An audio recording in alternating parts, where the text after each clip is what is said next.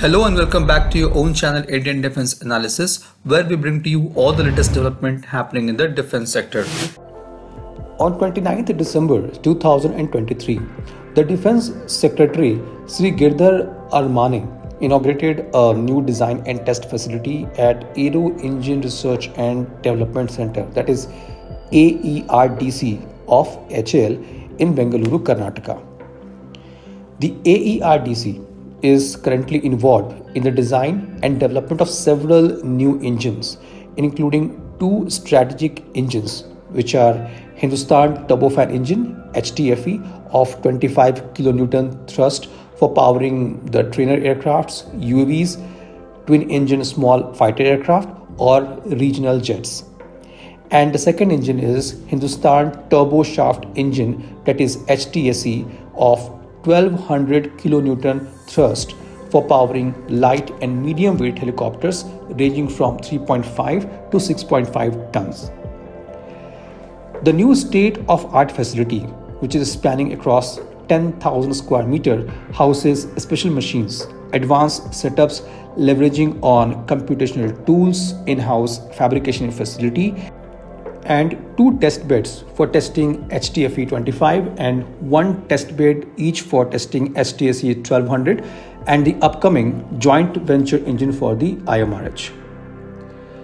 The development of HTFE 25 turbofan engine is equally important as that of 110 kilonewton class or higher thrust class engine which will power the future fighter jets of India. This engine of 25 kilonewton class is designed to power aircrafts with lower thrust requirements such as basic or advanced military trainers on small business jets, stealth UAVs and wingmen. The single engine can power a 5 ton weight class of aircraft and in twin engine configuration it can power 9 ton weight class of aircraft.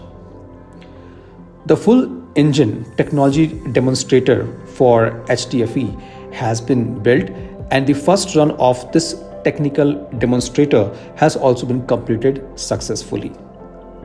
The further development of flight worthy engine for certification would require at least 5 years or more. As per the latest update from HAL, the firm is planning to get certification of this engine by the year 2029 30. HAL has also planned the afterburner variant of this engine, which would be capable of generating thrust up to 40 kilonewtons. However, this would again depend on the success of 25 kilonewton core engine.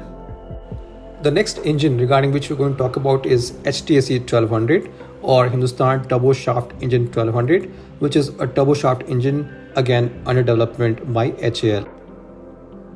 The 1200 kilowatt turboshaft engine would be used to power helicopters of 3 to 6 ton category such as LUH, ALH and LCH.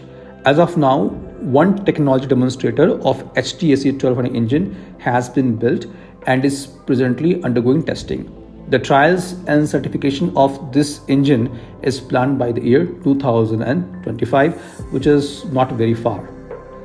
The next engine regarding which we are going to talk about is for the IMRH helicopters, which is going to be developed by a joint venture of HAL and the French engine maker Safran.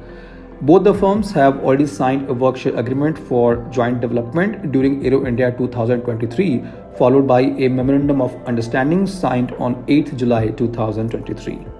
Safran and HAL will have a 50-50 workshare. HAL will be involved in design, development and production of some of the core engine components, which is a breakthrough achievement in terms of expertise and know-how within the country.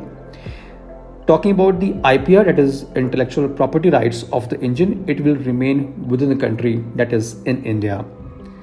As per the Hindustan Times report of 24th September 2023, HAL will commence the work on joint design and development of helicopter engines with Safran from November 2023. The production of engines is expected to begin in four years, that is by 2027.